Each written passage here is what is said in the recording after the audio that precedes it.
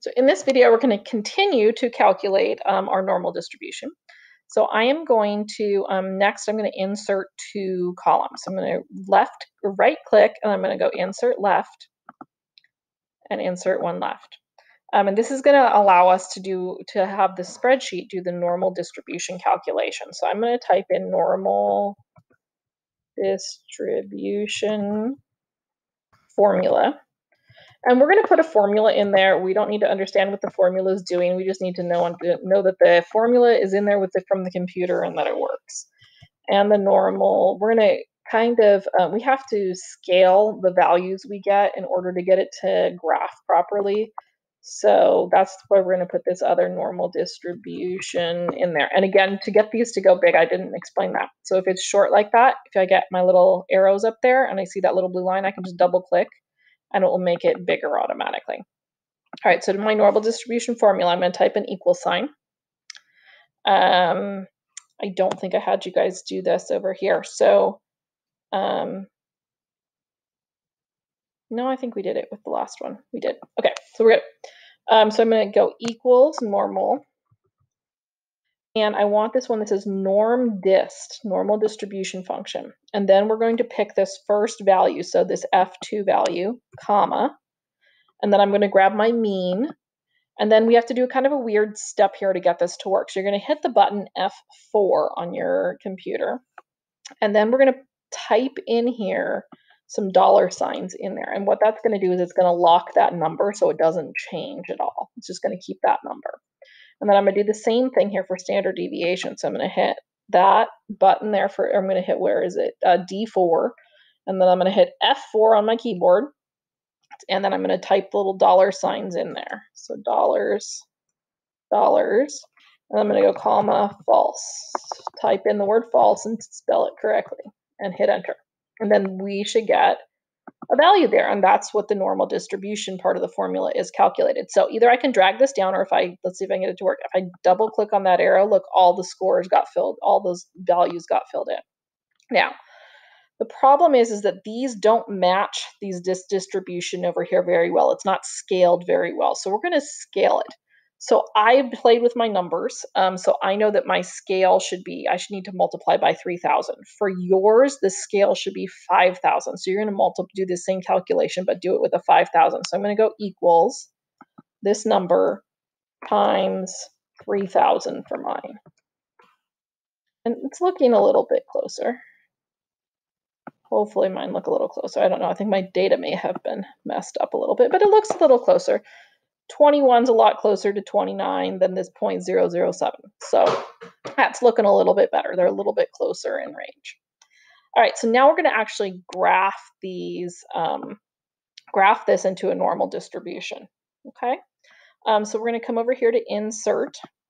Actually, no, not yet. We're going to highlight. So I want to highlight column F. I'm going to hold my control key down and I'm going to highlight the normal distribution column and just my plain distribution column. So what we're going to do is we're going to get a normal distribution laid over a histogram. So I'm going to now go to insert chart. There it comes. Okay. Um, and what I want to do is I want to come over here to chart type and I want to switch it to this one right. Oops, too fast, too fast. Chart type. Um, I want to switch it to this one right here where I've got a combo chart. And then in my combo chart, um, I want to, let's see, oh, I need to use F as column labels. That's going to change a little bit. And notice this is looking very, very good for a normal distribution right here. Not sure my histogram is working out very well. Yours will work out much better than mine does.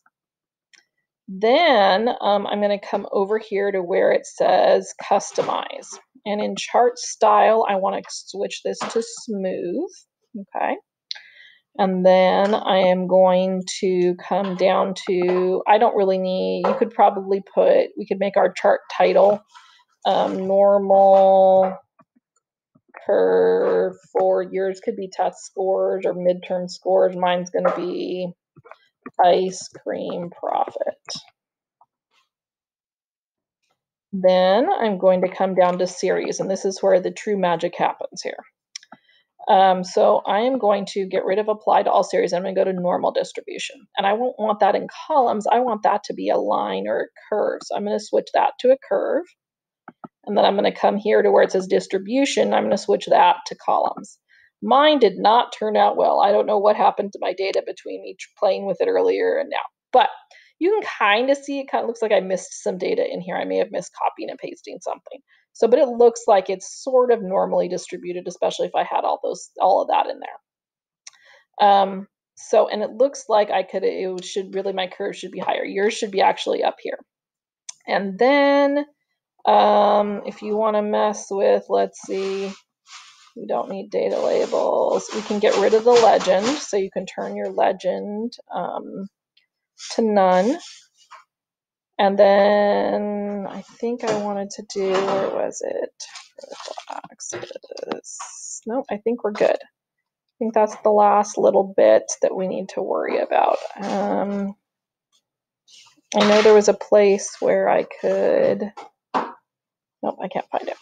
All right, so there is our normal curve and our distribution. So we will keep, if we want to, we can scroll that a little bit more.